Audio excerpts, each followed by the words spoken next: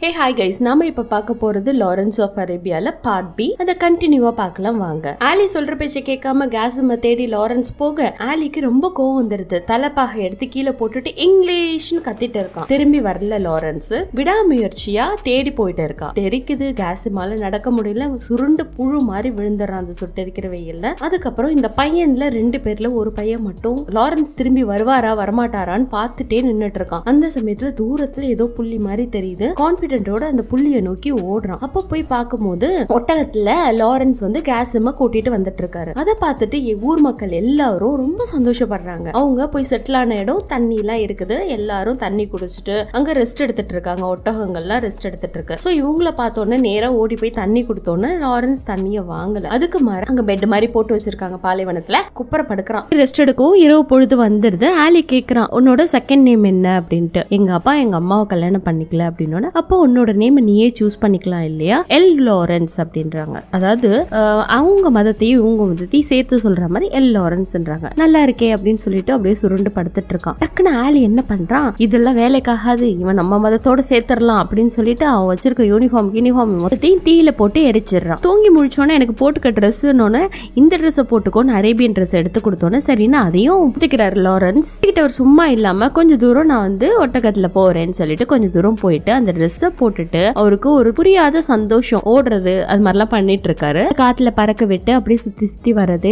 குழந்தைங்க எல்லாம் பண்ணுவாங்க இல்லையா? அது மாதிரி பண்ணிட்டு இருக்காரு அந்த சமயத்துல குதிரையில ஒருத்தன் வந்து நின்றுக்கிட்டு அவனையும் முறைச்சு பார்த்துட்டு இருக்கான் இவர் ஜாலியா இப்படி அப்படி ஓடிட்டு இருக்கவர் டக்குன்னு நின்னுட்டு அவனை பாக்குறாரு. நீ என்ன பண்ணிட்டு இருக்க இங்கிலீஷ் மேனிங்க அப்படின்னு கேக்குறாரு அந்த குதிரையில வந்தவர் என்ன பாத்தீங்களோ அதை தான் பண்ணிட்டு இருக்கேன்னு நீ கிரேசியா முட்டாள்தனமா வந்து அரேபியன் உடைய போட்டுக்கிட்டு இப்படி அப்படி ஓடுற? இதெல்லாம் பண்ணிட்டு இருக்கே என்ன நினைச்சிட்டு இருக்க அப்படின்னு சொல்லி அவரு கேட்க தனியா இங்க வந்திருக்கீங்களான்னு லாரன்ஸ் கேட்க ஆல்மோஸ்ட் ஆமா நான் தனியா தான் வந்திருக்கேன் அப்படின்னு சொல்லிட்டு இந்த அரேபியன்காரங்க கூட வந்து என்னோட குளத்துல தண்ணி குடிக்கிறீங்களா? அப்படின்னு கேட்க ஆமா அப்படிங்கிறார் லாரன்ஸ். ஓ அது உங்களோட குளமா? அப்படின்னு சொல்லிட்டு லாரன்ஸ் கேட்க டப்புன்னு சுட்டுறாரு வானத்தை பார்த்து. குதிரையில வந்தவர். நீங்க உங்க குளத்தை பாத்துக்கிறதுக்கு யாராவது காவலாளி போடலாமே? அப்படின்னு லாரன்ஸ் கேட்க குதிரையில வந்தவர் சிரிக்கிறாரு. அப்படி நான் காவலுக்கு போடணும்னா ஒரு பெரிய கிரேட் மென்னா இருக்கணும். ஏன்னா உயிரை கையில புடிச்சுக்கிட்டு அந்த இடத்துல காவல் காக்க முடியுமாங்க? ஒரு கிணத்தையும் ஒரு குளத்தையும். தண்ணிக்கு எவ்வளவு இம்பார்ட்டன்ஸ்ங்கிறத இந்த இடத்துல உணர்த்துதுங்க. அதுக்கு லாரன்ஸ் இந்த கொடுமையான பாலைவனத்தை தாண்டி உயிரை கையில பிடிச்சுக்கிட்டு தண்ணி குடிக்கிறது தப்பா அப்படின்னு கேக்குறாரு. அந்த சமயத்துல இவர் சுட்ட சத்தத்தை கேட்டு ஹெல்ப்புக்கு ஒரு பையன் அங்க குதிரையில வந்துட்டு இருக்கான் இவங்கள நோக்கி இந்த பையன் how can I help you அப்படின்னு கேக்குற மாதிரி கேக்குறான். அதுக்கு அவங்கப்பா என்ன மாதிரி ட்ரெஸ் பண்ணிருக்கான்னு கொஞ்சம் சொல்லுடா தம்பி அப்படின்னு அதுக்கு அந்த பையன் ஷெரீஃப் மாதிரி ட்ரெஸ் பண்ணிருக்கான்ப்பா பட் பாக்குறதுக்கு இங்கிலீஷ்கார மாதிரி இருக்கான்ப்பா அப்படின்னு சொல்றான். தன் மகன் கிட்ட மகனே நம்ம தண்ணியை திருடுறாங்க. நீ போய் சொல்லு நான் வந்துட்டு இருக்கேன் அப்படின்னு அப்படின்னு சொன்னோன்னே அந்த பையன் குதிரையில வேகமா வர அவங்க அப்பா பின்னாடியே ஃபாலோ பண்ணி வர அவங்கள ஃபாலோ பண்ணி லாரன்ஸ் பின்னாடி ஒட்டகத்துல வர எல்லாரும் உட்காந்துருந்தவங்க எல்லாம் எழுந்து போயிட்டு ரெடி ஆறாங்க. துப்பாக்கி கன்ஸ் எல்லாம் எடுத்துட்டு. வாட்டர் கேன்ல இருக்க தண்ணியை கீழே ஊத்திட்டு அவமரியாதை படுத்திட்டு மொத்த பேரும் வச்சிருக்க தண்ணி எல்லாம் கீழே ஊத்துங்கன்னு சொல்றான். அதுக்கு ஆலி நோன்னு சொல்லிட்டு கிட்டக்கு வந்து பேச வரான். கிட்ட ஆலி வர அந்த குதிரையில வந்தவனும் முறைச்சுக்கிட்டே போக லாரன்ஸ்க்கு ரொம்ப திறமை ஜாஸ்திங்க. அந்த- நேரத்தில் நேரத்துல ஒட்டகத்துல பின்னாடி வந்த லாரன்ஸ் சமாதான புறா மாதிரி ரெண்டு கையையும் நீட்டிக்கிட்டு அவர் போட்டிருக்க வெள்ளை ட்ரெஸ்ஸுக்கு நீங்க இருக்கிறது ரெண்டு பேர் தான். எப்படி ஐம்பது பேரை கொலை பண்ணுவீங்க? ஐம்பது பேரை எப்படி சுட்டு தள்ளுவீங்க? அதெல்லாம் முடியாது இல்லையா? நாங்க உங்களுக்கு நட்புறவு கொள்றதுக்காக தான் இங்க வந்திருக்கோம். உங்களோட கூடி உறவாடுறதுக்கு தான் வந்திருக்கோம். நீங்க எதுக்கு எங்களை வந்து எதிரி மாதிரி பார்க்கணும் அப்படின்னு கேட்க ஓ நீங்க வந்து என்னோட நட்பை எதிர்பார்த்து வந்திருக்கீங்களா? அப்ப உங்களுக்கு என்னோட நட்பு வேணும். அப்படின்னு ஆலியா பார்த்து கேட்டோன்னே எஸ்ங்கிறாரு இதுதான் உன்னோட வார்த்தையா? இப்படிதான் உங்க மதத்துல சொல்லி கொடுத்துருக்காங்களா? அப்படின்னோட இல்ல எனக்கும் உங்களோட நட்புறவு கொள்ளணும்னு ஆலி சொல்ல டக்குன்னு என்ன பண்றான்? அந்த குதிரையில வந்தவன். நீங்க எல்லாரும் என் கூட டைனிங் சாப்பிட வரீங்க. அதாவது நைட் டின்னருக்கு நினைச்சிருக்கான் சரின்னு அந்த நேரத்துல கிளம்புறாங்க. டைனிங்க்கு போகும்போது என்ன ஆகுதுன்னா மொத்த பேரு இவங்கள சூழ்ந்துக்கிறாங்க. அங்க பார்த்தா பல்லாயிரக்கணக்கான பேர் வந்து டென்ட் அடிச்சு இருக்காங்கங்க. இவங்க போறதோ ஒரு ஐம்பது பேர் தான். போய் பார்த்தாதான் தெரியுது அவ்வளோ பேர் இருக்காங்க. படை வீரர்கள்லாம் இவங்கள சுத்தி வளைக்கிறாங்க. ஆலிக்கு ஒரு பக்கம் வயிற கலக்குது. இருந்தாலும் நம்பிக்கையோட லாரன்ஸ் பின்னாடியே போயிட்டு இருக்கான். மொத்த பேர் இவங்க போக இவங்கள அந்த குதிரை வீரர்கள் சுத்தி சுத்தி வராங்க. இவங்க வரவே இருக்கிறாங்களா இல்ல எதிர்க்கிறாங்களான்னு தெரியல ஆலிக்கு. இருந்தாலும் போய் சேர்ந்துடுறான் ஒரு வழியா. அங்க பார்த்தா பெரிய ஃபீஸ்ட்டுங்க நம்பவே முடியாத அளவுக்கு உணவு ட்ரிங்க்ஸ் எல்லாம் வச்சு அந்த அளவுக்கு இவங்கள வரவேற்று எல்லாருக்கும் ஃபீஸ்ட் கொடுக்குறாங்க. ரொம்ப கிராண்டான வரவேற்பு கன் எல்லாம் ஷூட் பண்ணி எல்லாருக்கும் ஃபீஸ்ட் கொடுக்குறாங்க. அப்போ சொல்றாரு பைசல் மாதிரி ஒரு மோசமான தலைவனை நான் பார்த்ததில்ல அப்படின்னு இந்த குதிரைக்கார தலைவன் சொல்ல எந்த பதிலும் பேசாம ஹிஹின்னு சிரிச்சுட்டே உட்காந்துட்டு இருக்காங்க. ஆமா அக்குபாக்கு எதிராக போராடணும்னு நினைச்சு கிளம்பி வந்திருக்கீங்களே அதுல என்ன லாபம் உங்களுக்கு? அப்படின்னு கேட்க நாங்க லாபத்துக்காக போராடவங்க கிடையாது. பைசலோட மெக்கா வேணும் அப்படின்ற மாதிரி சொல்றாங்க. பைசலுக்கு நீ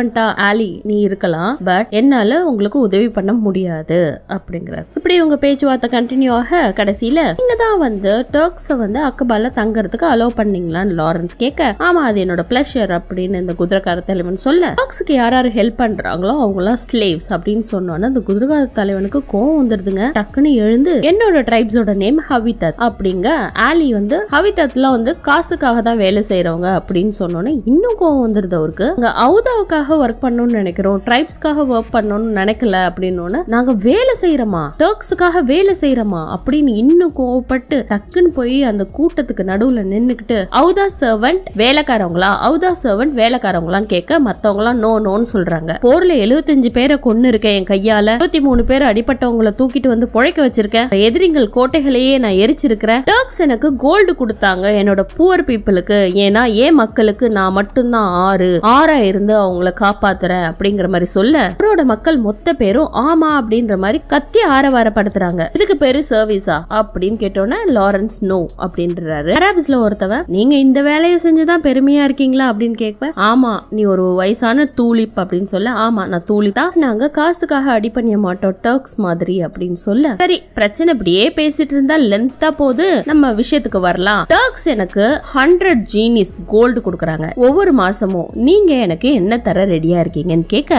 உங்களுக்கு ஹண்ட்ரட் அண்ட் பிப்டி கோல்டு அவங்க கொடுக்குறாங்க லாரன் சொல்ல அதுக்கு அவரு இல்ல உனக்கு இதை யார் சொன்னது? அப்படின்னு கேட்க எனக்கு பெரிய காதுன்னு லாரன் சொல்ல இல்ல உனக்கு பெரிய நாக்கு அப்படிங்கிறாரு. அவங்க கூடாரத்துல உட்காந்துக்கிட்டே அவங்கள்ட்ட பேரம் பேசுறது மட்டும் இல்லாம அவங்கள கொஞ்சம் இழிவா தான் பேசுவாங்க. இருந்தாலும் குதிரையில வந்த தலைவன் இருக்காரு இல்லைங்களா அவனுக்கு காசு மட்டும்தான் முக்கியம். நீங்க என்ன கொடுக்குறீங்க? நான் உங்களுக்கு உதவி செய்யணும். டீலா நோ டீலான்னு கேட்க குபால் பெட்டி பெட்டியா தங்கம் இருக்கு. ஆனா உங்களுக்கு கொடுக்கறது நூத்தி ஐம்பது தான். நம்ம நேரா போய் மொத்தத்தையும் சூறையாடிட்டு வந்துடலாம் அப்படிங்கிற மாதிரி ஐடியா கொடுத்தோன்னே இந்த குதிரையில வந்த தலைவனுக்கு பயங்கர பேராசை ஆயிடுது. குதிரைக்காரன் அவனோட டவுட் எல்லாம் கிளியர் பண்ணிட்டு கன்ஃபார்ம் பண்ணிக்கிறான். சரி நம்ம போய் பெரிய வேட்டையா பண்ணிட்டு வந்துடலாம். நீங்க அக்குபாவை எடுத்துக்கோங்க. நான் அங்க இருக்க தங்க புதையில வேட்டையாடுறேன் அப்படின்ற மாதிரி ஒரு கன்க்ளூஷனுக்கு வந்துட்டு கிளம்பிடுறாங்கங்க. கும்பா மேல போர் புரியறதுக்கு குதிரைக்காரனோட படைகளை திரட்டிக்கிட்டு இவங்க ஐம்பது பேர் சேர்ந்து குதிரைக்கார மக்கள் குதிரையில போக இவங்க ஐம்பது பேரும் ஒட்டகத்துல போக பெரிய ஒரு குரூப்பா சேர்ந்து போறாங்க. காரனோட மக்களை சில பேரை விட்டுட்டு இவங்க எல்லாம் மொத்த பேரும் உங்களோட கடவுள் இருக்கட்டும் கடவுள் இருக்கட்டும்னு சொல்லிக்கிட்டே ஆரவாரத்தோட கிளம்பி போறாங்க. அவங்க போறத பார்த்தா கண்டிப்பா ஊரே ஆடாம வரமாட்டாங்கன்றது நல்லா தெரியுது. ரொம்ப தூரம் பயணம் பண்ணதுக்கு அப்புறம் இரவு பொழுது வந்துடுது. ஒரு மலையோட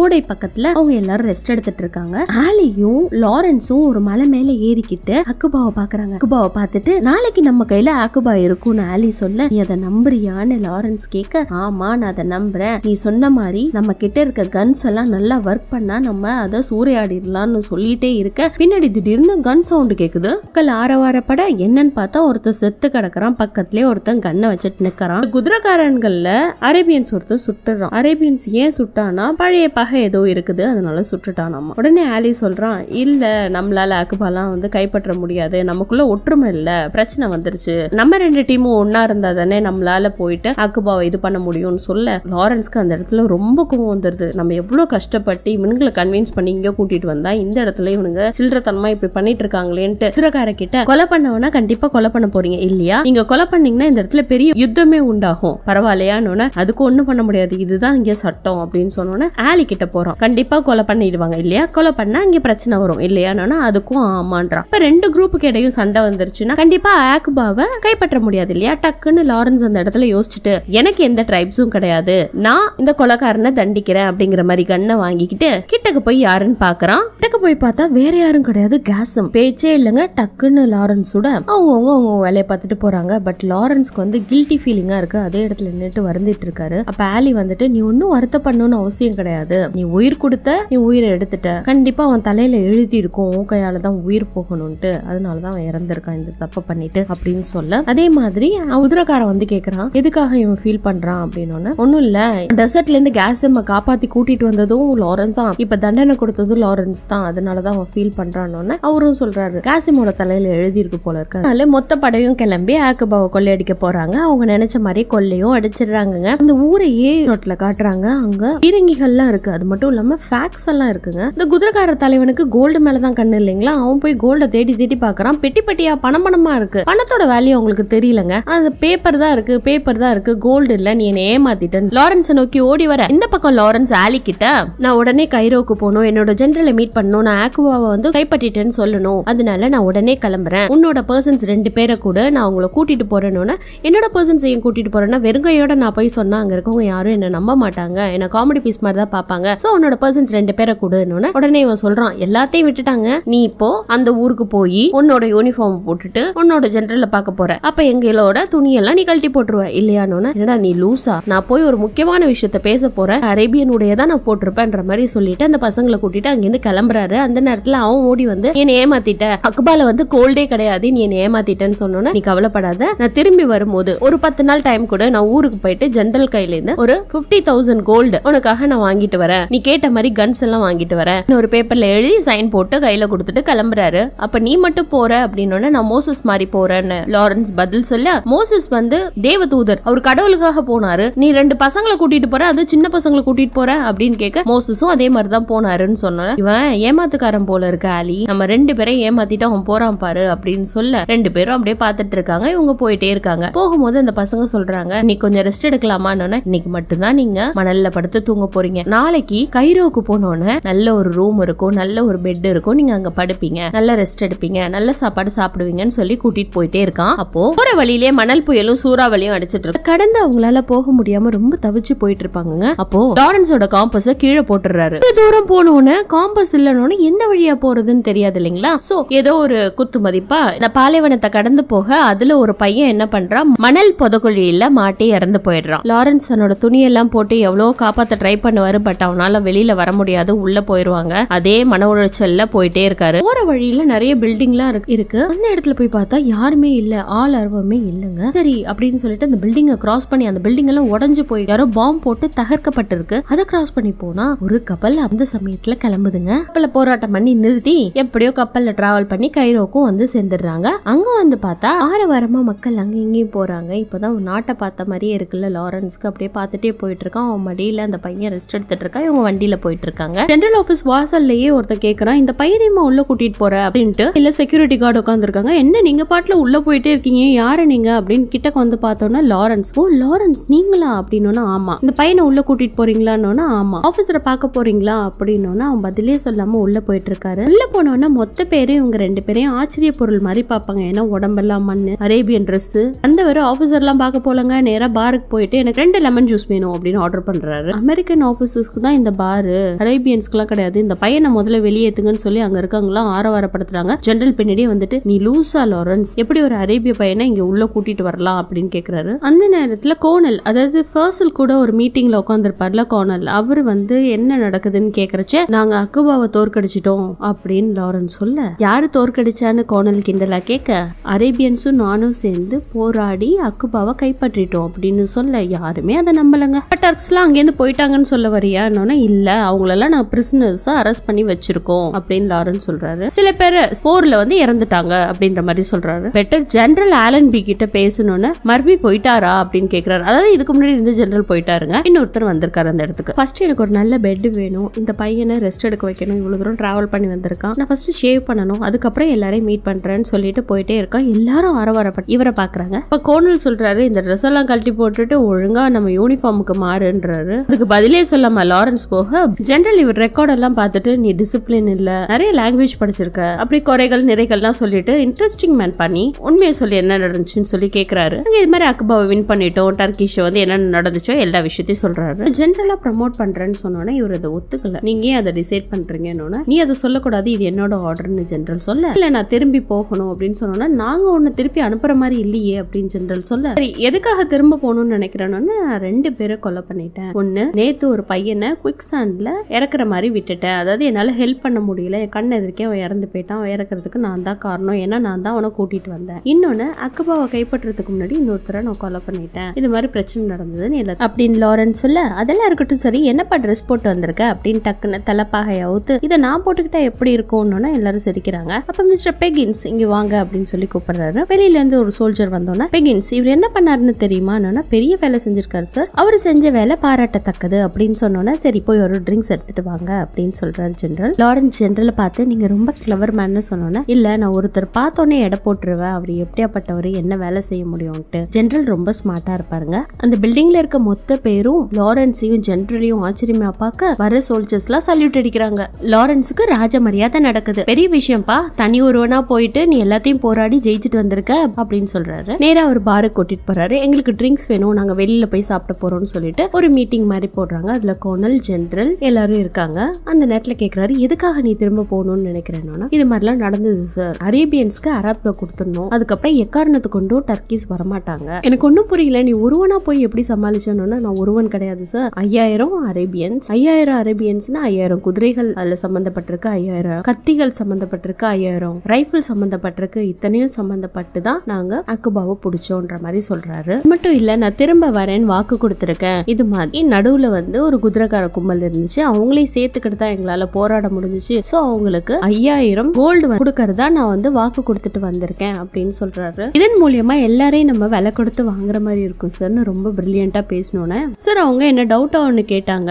அரேபியா வந்து நீங்க கைப்பற்ற போறீங்களா? அதாவது ஃபாரினர்ஸ் கைப்பற்ற போறீங்களான்னு மாதிரி கேட்டாங்க. அப்படி நமக்கு ஏதாவது ஒரு எண்ணம் இருக்கான்னு ஜென்ரல்ல கேட்க no no no thank God அது மாதிரி ஒரு எண்ணம்லாம் கிடையாது. டர்க்ஸை வந்து போராடி ஜெயிக்கணும். அதுக்கு அரேபியா சப்போர்ட்டுக்கு வந்தாங்க. பட் அரேபியன் கண்ட்ரி நமக்கு வேண்டாம் அப்படின்ற மாதிரி சொல்ல. அவங்க கிட்ட நான் போல்டா சொல்ல போறேன். உங்க பேரை சொல்லி உங்களுக்கு அரேபியா மேல விருப்பம் கிடையாது அப்படின்னு சொல்ல போறேன்னு இன்னும் நட்புறவு கொள்ளும் இல்லைங்களா அந்த நாடு? ஒரு நம்பிக்கையும் வரும் இல்லைங்களா? ரொம்ப பிரில்லியண்டா பேசுவார் லாரன்ஸ். இது மட்டும் இல்ல இன்னும் அங்க போர் நடந்துட்டு தான் இருக்கு. முக்காவாசி நாட்டை நாங்க புடிச்சிட்டோம். முழுசாவே புடிச்சிட்டோம். இருந்தாலும் போர்கள் நடந்துட்டு இருக்கு. சோ எனக்கு ரெண்டாயிரம் பேர் பத்தாது. ஒரு ஐயாயிரம் பேராவது வேணும்னு ரைடன் ஜெனரல் சொல்றாரு. எல்லாத்தையும் ட்ரைடன்ட்ட கேட்பாரு ட்ரைடனும் ஓகே சார் நம்ம கொடுத்துடலாம். எவ்வளவு மணி கேட்கிறாரோ கொடுத்துருங்க எவ்வளவு ஆட்கள் கேட்கறாங்களோ கொடுத்துருங்க எவ்வளவு ரைஃபிள் கேட்கறாங்களோ கொடுத்துருங்கன்னு சொல்ல எல்லாத்துக்கும் ரைட்டுன்னு சொல்லிட்டு ஒண்ணுமே இல்லாம வெறுங்கையோட போய் இவ்வளவு பெரிய சாதனை பண்ணிருக்க லாரன்ஸ் கண்டிப்பா நீ கேட்கறதெல்லாம் நான் கொடுத்து அனுப்புறேன். தேங்க்யூ ஃபார் திஸ் மீட்டிங்னு சொல்லிட்டு அந்த இடத்த விட்டு கிளம்புறாருங்க ஜென்ரல் அங்க இருக்க மொத்த பேரும் லாரன்ஸை ஒரு காட்சி பொருள் மாதிரி பார்ப்பாங்க. ஒரு பெருமையா பார்ப்பாங்க. ஒரே மனுஷன் சாதாரணமா போயிட்டு ஒரு மாத்திக்கிறதுக்கு துணி கூட இல்லாம இவ்வளோ பெரிய காரியத்தை சாதிச்சாருன்னு சொல்லிட்டு சூழ்ந்துகிட்டு பெருசா கங்கராச்சுலேஷன்ஸ் பண்ணுவாங்க. இவரோட வெற்றி ஜென்ரலுக்கு கோனலுக்கு எல்லாருக்கும் பொறாமையா இருக்குங்க. இவருக்கு பீரங்கி கொடுத்து அனுப்பணுமா? இல்ல யோசிச்சுதான் சொல்ல முடியும்னு சொல்லிட்டு போறாங்க. அடுத்த சீன்ல சில நாட்களுக்கு பிறகு ஒரு பீரங்கி வண்டி அரேபிய நாட்டுக்குள்ள என்ட்ரி ஆகுதுங்க. பீரங்கிக்கு யூஸ் பண்ற பாம் எல்லாம் எடுத்துக்கிட்டு வந்துட்டு இருக்காங்க. ஒரு ஆபீசரும் கூட வராரு. அந்த ஆபீசர் ஆப்போசிட்ல வரவங்கள பார்த்து நீங்க தான் மிஸ்டர் ஃபைசலான்னு கேட்க அந்த பெரிய மனுஷன் சொல்றாரு நான் ஃபைசல் கிடையாது அவர் என்னோட மாஸ்டர்னு சொல்ல. சரி நான் ஃபைசலை மீட் பண்ணணும் இந்தாங்க விசிட்டிங் கார்டுன்னு கொடுக்க அடுத்த சீன்ல அந்த விசிட்டிங் கார்டை ஃபைசல் படிக்கிற மாதிரி இருக்கு. நான் லாரன்ஸ் எங்க பார்க்க முடியும்? அப்படின்னு கேக்குறாரு. மிஸ்டர் லாரன்ஸ பார்க்கணும்னா என்னோட ஆர்மி கூட தான் அவர் இருப்பாருன்னு ஆர்மி எங்க இருக்குன்னு சொல்லுங்க நீ இவர் கேட்க. எனக்கு தெரியாது. லாஸ்ட் வீக் அவங்க கீரான்னு ஒரு நாட்டுக்கு போனாங்க. அதுக்கப்புறம் என்னாச்சுன்னு தெரியாதுன்னு சொல்றாரு. அவ்வளவு தூரம் கேமல ஓட்டிட்டு போக முடியுமா? அப்படின்னு கேட்க இது வரைக்கும் நான் கேமல் ஓட்டினது இல்லைன்னு அந்த ஆஃபீஸர் சொல்ல. நான் கைரோக்கு போலான்னு இருந்தேன் அப்படின்னு ஃபைசல் சொல்ல உங்களுக்கு பிள்ளைங்கள் கொடுக்காதது எங்களோட தப்பு தான் நீங்க அது இல்லாம ரொம்ப கஷ்டப்பட்டிருப்பீங்கன்னு நான் நினைக்கிறேன் இந்த ஆபீஸர் சொல். ஆல் ஆலன் பி ஜெனரல் வந்து அதை கொடுக்கல but he is slim customer அப்படின்ற மாதிரி சொல்றாரு. ஸ்லிம் கஸ்டமர்னா என்ன அர்த்தம்னு இவர் கேட்க கிளவர் மேன் அர்த்தம்னு அவர் சொல்றாரு. இருக்க ஆஃபீஸர் பேர் மிஸ்டர் பிரெண்ட்லி ஃபைசல் சொல்றாரு நீங்க ரொம்ப சிம்பத்தட்டிக்கா இருக்கீங்க. எங்க மேல ரொம்ப கருணை காட்டுறீங்கன்னு. இல்ல யார் ஃப்ரீடம்க்கு வந்து போராடினாலும் நாங்க கருணை தான் காட்டுவோம் அப்படின்ற மாதிரி பிரெண்ட்லி சொல்ல இப்ப டர்க்கிஷோட ரயில்வேஸ் ஸ்பாயில் பண்ற குறியா இருக்கும். அவங்களுக்கு பெரிய ஆர்மி பவரே வந்து ரயில்வேஸ் மூலியமா வருது. அது ஸ்பாயில் பண்ணிட்டா எங்களால அவங்கள ஜெயிச்சிட முடியும். கம்ப்ளீட்டா வேர்ல்ட் வைடா இருக்கிற டர்க்கிஸ் இந்த போராட்டத்துக்கு தலைமை தாங்கிட்டு இருக்கிற ஒவ்வொருத்தரையும் நாங்க பெருசா மதிப்போம். அது மட்டும் இல்லாம சில மாசத்துக்கு முன்னாடி நடந்த போராட்டத்துல முப்பத்தி ஏழு பேர் காயப்பட்டுட்டாங்க. நூத்தி ஐம்பத்தாறு பேர் இறந்து போயிட்டாங்க. இது என் மனசை விட்டும் மூளையை விட்டும் போகல.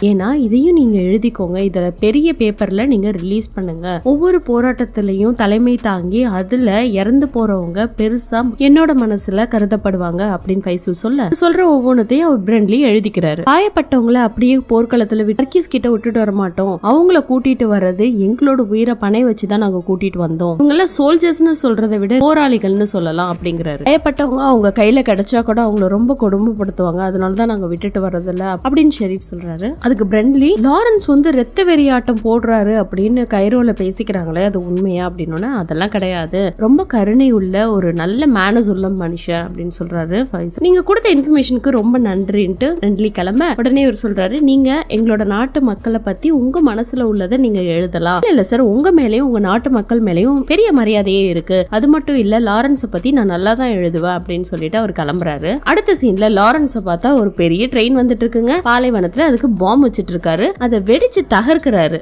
ஒரு அரேபியனாவே மாறி இருப்பாரு. அதே அங்கியில அவங்க கூட போராடிட்டு இருப்பாருங்க. ட்ரெயின்ல இருக்கவங்கள இவங்க சுட இவங்கள ட்ரெயின்ல இருக்கவங்க சுட இப்படி மாறி மாறி சுட்டுட்டே இருப்பாங்க. நடக்கிற போர்க்காட்சிகளை இவர் போட்டோ எடுத்துட்டு இருக்காரு பிரெண்ட்லி விட்டுட்டு இருக்கவங்க முன்னாடி போயிட்டு ஸ்டாப் இட் ஸ்டாப் இட்னு கத்துறாரு. சரி நான் அவங்க நிறுத்திட்டு எல்லாரும் மொத்த பேரும் அந்த ட்ரெயினை பார்த்து ஓடுறாங்க. அங்க ஓடி போயிட்டு அதை சூறையாடலான்னு போறாங்க. லாரன்ஸ் அந்த ட்ரெயின் மேல நின்னு வெற்றியை கொண்டாட பின்னல்ல இருந்து ஒருத்தவன் சுட்டுறான் லாரன்ஸ பார்த்து. இவங்க என்ன பண்றாங்க? கையில கிடைச்சதெல்லாம் சுருட்டிக்கிறாங்கங்க. கையில விழுந்த லாரன்ஸ்க்கு கையில தான் அடிபட்டிருக்கும். எழுந்து நிக்கிறாரு. ஆனா அந்த ட்ரெயின்ல அடிபட்டவன் விடாம லாரன்ஸ் சுட்டுட்டே இருக்கான். டக்குன்னு லாரன்ஸ் யாரு சுடுறாங்கன்றத கவனிச்சிடுறாரு. தங்கத்துக்காக ஆசைப்படுவான் இல்லைங்களா? அவன் பெரிய ஸ்வாட் கத்திய வச்சு அவனை வெட்டி கொண்டுறான் இத இந்த பிரெண்ட்லி பார்த்துட்டு இன்னைக்குதான் முதல் முறையா ஒரு கத்திய வச்சு ஒரு மனுஷனை கொல்றத நான் நேரடியா பாக்குறேன் அப்படின்னு சொல்ல லாரன்ஸ் அதுக்கு ஏன் அதையும் போட்டோ எடுத்திருக்கலாமே? அப்படின்னு சொல்றாரு. அவனை வெட்டி கொண்டுட்டு கிட்டக்கு வந்த குதிரைக்காரர் தலைவன் லாரன்ஸ் எப்படி இருக்குன்னு கேக்குறான். பக்கத்துல இவர் நின்னு போட்டோ எடுக்கிறத பார்த்துட்டு கேமராவை புடுங்கி என்ன தைரியம் இருந்தா நாங்க போர் பண்றத போட்டோ எடுத்துட்டு இருக்க? அப்படின்ட்டு கேமராவை புடுங்கி உடச்சு போட்டுறாங்க. ட்ரெயின்ல கிடைச்ச பொருள்லாம் சூறையாடிக்கிட்டு இவர் ட்ரெயின் மேல லாரன்ஸ் ஏறி நிக்க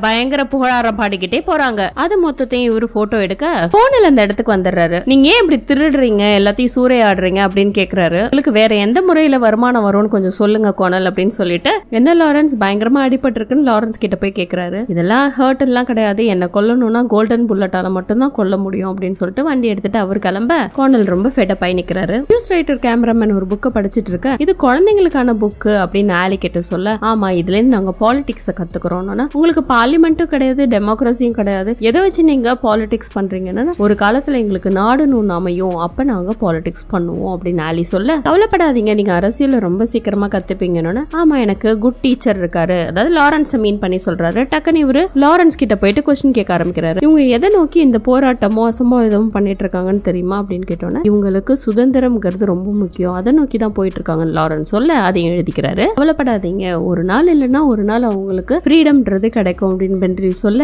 கண்டிப்பா நான் உங்களுக்கு ஃப்ரீடத்தை கொடுப்பேன் லாரன் சொல்றாரு. சரி செகண்ட் கொஸ்டின் என்னன்னு கேட்குறாரு இந்த டெசர்ட்ல உங்களை என்ன அட்ராக்ஷன் பண்ணுச்சு அப்படின்னு கேட்டோன்னே இந்த டெசர்ட் ரொம்ப கிளீனா இருக்கு இந்த மக்கள் ரொம்ப சுத்தமா இருக்காங்கன்னு சொன்னோன்னே இது இலுமினேஷன் ஆன்சர் மாதிரி இருக்கு அப்படின்ட்டு ஒரு போட்டோவையும் எடுத்துக்கிறாரு. தங்கத்துக்கு ஆசைப்படுவான் இல்லைங்களா அந்த குதிரையில வந்தவன்? அவன் ஒரு பெரிய கிளாக் கிடைச்சிருக்கு அதை தூக்கிட்டு ட்ரெயின்ல இருந்து ஓடி வந்து எனக்கு பெரிய கிளாக் கிடைச்சிருச்சுன்றான். அது ஓடாத கிளாக்குன்னு உடச்சு போட்டு எனக்கு ஒருத்தானது எதுவுமே இங்க கிடைக்கல எனக்கு ஒருத்தானது எதுவுமே எனக்கு கிடைக்கல. எனக்கு கண்டிப்பாக ஒருத்தாந்து எதையாவது நான் தேடணும் தேடணும்ட்டு உட்காந்துருக்கான் அந்த நேரத்தில் ஒரு ட்ரெயினில் குதிரைகள்லாம் ஏற்றிக்கிட்டு வந்துட்டு இருக்காங்க அந்த ட்ரெயினையும் தகர்க்கிறாங்க. குதிரையெல்லாம் சூறையாடுறாங்க. அதே மாதிரி வரப்போகிற ட்ரெயின் எல்லாம் வெடி வச்சு தகர்த்து சூறையாடுறதே உங்க வேலையா இருக்காங்க. ட்ரெயின் வருதா இல்லையான்னு காதை வச்சு கேட்கறது இப்படியே பண்ணிட்டு இருக்காங்க ஒரு நாள் என்ன ஆகுதுன்னா அந்த ரெண்டு பையன்ல ஒரு பையன் வந்து டெட்டனேட்டர் எடுத்து மடியில் வச்சுட்டு ட்ரெயினுக்கு பாம்பு வைக்கும் போது ஒரு பாம்பை வந்து மடியில் வச்சுட்டு போயிடுறான். அப்போ என்ன ஆகுதுன்னா அது வெடிச்சிடுது. சரின்னா அவனையும் அந்த இடத்துலயே விட்டுட்டு போற நிலைமை வந்துடுது. இப்படியே நம்ம வந்து ட்ரெயின் எல்லாம் தகர்த்துக்கிட்டே இருக்க முடியாது? இதுக்கு ஒரு முடிவு கட்டணும். நமக்கு ஒரு கவுன்சில்ன்றது வேணும். நம்ம எத்தனை காலத்துக்கு இப்படியே பாலைவனத்துல இருக்கிறதுன்ட்டு லாரன்ஸ் ஒரு முடிவுக்கு வராரு. பட் இந்த பக்கம் பார்த்தா இங்கிலீஷ் ஜெனரல்ஸ் வந்து லாரன்ஸ் ஒன்லி அரேபியாவுக்கு தான் ஒர்க் பண்றாருன்ற மாதிரி காசிப்பிங் பண்ணிக்கிறாங்க. இந்த பக்கம் என்ன சொல்றாங்கன்னா நீ வந்து இங்கிலீஷ் ஜென்ரல்ஸ்க்கு தான் ஒர்க் பண்ற நாட் ஃபார் அரேபியா அப்படின்னு சொல்லி இவங்க காசிப் பண்றாங்க. சோ இவர் என்ன முடிவு எடுக்கிறாருன்னா ஒரே ஏரியா டர்க்ஸ் இருக்கிற ஏரியாக்குள்ள போயிட்டு மொத்த பேரையும் அழிச்சிடலான்ற ஒரு எண்ணத்தோட முடிவு எடுக்கிறாங்க. ஒரு ஆள் வேணும்.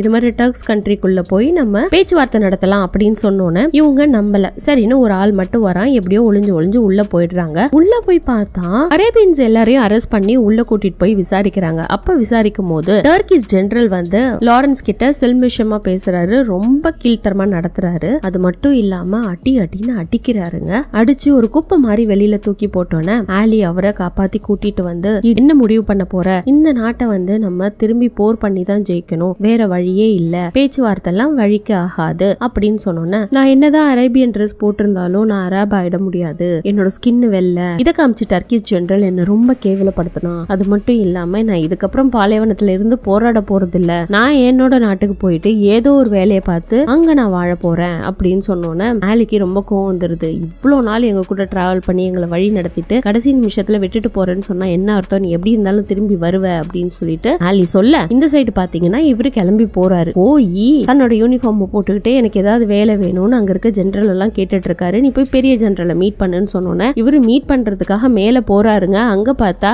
அராபோட தலைவர் ஃபாசில் நின்றுட்டு இருக்காரு. என்னப்பா இங்க வந்திருக்க? அப்படின்னு சொல்லி கேக்குறாரு. நான் இங்க வந்து வேலை செஞ்சு இங்கே இருக்க போறேன். நான் இனிமே பாலைவனத்துக்குலாம் வரப்போறது இல்ல அப்படின்னு இல்ல நீ கண்டிப்பா செய்யணும் அப்படின்ட்டு ஜென்ரலும் சொல்லிடுறாரு. ஏன்னா நீ வந்து இது உன்னோட பர்சனல் இஷ்யூவா நீ எடுத்துக்க கூடாது. இது நீ மிலிட்ரியில போடப்பட்ட ஆர்டர் இது. இதை நீ கண்டிப்பா ஃபாலோ பண்ணி தான் ஆகணும் அப்படின்னு சொன்னோன்னே வேற வழி இல்லாமல் நான் கண்டிப்பாக பண்றேன். இதுக்கெல்லாம் ஒரு முடிவு இருக்கு. காலம் ஃபுல்லாக போர்லேயே இருக்க முடியாது. அதுக்கு டெமாஸ்கஸ அரேபியன்ஸ்க்கு கொடுத்துருங்க அப்படின்னு சொல்றாரு. டெமாஸ்கஸ் எப்படி கொடுக்க முடியும் அப்படின்னு இவங்க வந்து யோசிக்கிறாங்க. யோசிச்சோன்னே இவர் என்ன பண்றாரு? டெமாஸ்கஸ கண்டிப்பா நான் அரேபியன்ஸ்க்கு கொடுத்துட்டு அவங்க மொத்த பேரையும் இங்க கூட்டிட்டு வந்துட்டு அரேபியன் கவுன்சில் ஒன்று ரெடி பண்ணுவேன் அப்படின்ற மாதிரி அவங்க கிட்ட சவால் விட்டுட்டு கிளம்புறாருங்க. திருப்பி பாலைவனத்துக்கு வராரு. வந்தவருக்கு பெரிய வரவேற்பு. அது மட்டும் இல்லாம தனியா வராம இவர் கூட கொஞ்சம் இந்த கொள்ளைக்காரர்கள் எல்லாம் கூட்டிட்டு வராரு. ஏன்னா அவங்க இவங்களுக்கு பாதுகாப்பா இருப்பாங்கன்ட்டு. ஆலி அதை ஒத்துக்கல. இருந்தாலும் இவங்க என்ன பண்றாங்க? போர் பண்றதுக்கு போறாங்க. அவங்க போர் பண்ண போற ஊர் எதுனா டர்க்கிஸோட தலால்ஸ் வில்லேஜ் இதை தெரிஞ்சுக்கிட்ட அமெரிக்கன் கவர்மெண்ட் என்ன பண்ணும்? இவங்களுக்கு முன்னாடியே போய் தலால் வில்லேஜ பாதி அழிச்சிருவாங்க. அதுல பாதி பேர் எஸ்கேப் ஆகி போவாங்க இல்லைங்களா? அவங்க மொத்த பேரையும் நோ பிரிசனஸ் அப்படிங்கிற டாபிக்க வச்சு இருக்கிற மொத்த பேரையும் ஆடுல இருந்து கோழி வரைக்கும் மொத்தத்தையும் அறுத்து போட்டுறாங்க மொத அரேபியன்ஸும் கிளம்பி டெமாஸ்கஸ்க்கு வந்துடுறாங்க. டெமாஸ்கஸ்க்கு வந்ததுக்கு அப்புறம் பிரிட்டிஷ் கவுன்சில் என்ன பண்றதுன்னு தெரியல. அவங்களும் யோசிச்சுட்டு இருக்காங்க. இவங்க இருக்கிற இடம் எங்கன்னா டவுன் ஹால்ல டவுன் ஹால்ல என்ன ஃபெசிலிட்டிஸ் இருக்குதுன்னா டெலிஃபோன் எக்ஸ்சேஞ்ச் இருக்கு போஸ்ட் ஆஃபீஸ் இருக்கு ஃபயர் ஸ்டேஷன் இருக்கு ஹாஸ்பிட்டல் இருக்கு. எல்லா ஃபெசிலிட்டியும் அமெரிக்காக்கு அங்கிருந்தா ப்ரொவைட் பண்ணப்படுது. அதான் இவங்க ஆக்கிரமிச்சு இவங்களுக்கு வந்துட்டு அரேபியன் கவுன்சில் அங்க உருவாக்கணும்னு முடிவு பண்றாங்க. அங்க பெரிய மீட்டிங்கே நடக்குது. ஒவ்வொருத்தரும் ஒவ்வொரு ஒப்பீனியனை சொல்ல அந்த இடத்துல அவங்க சர்வே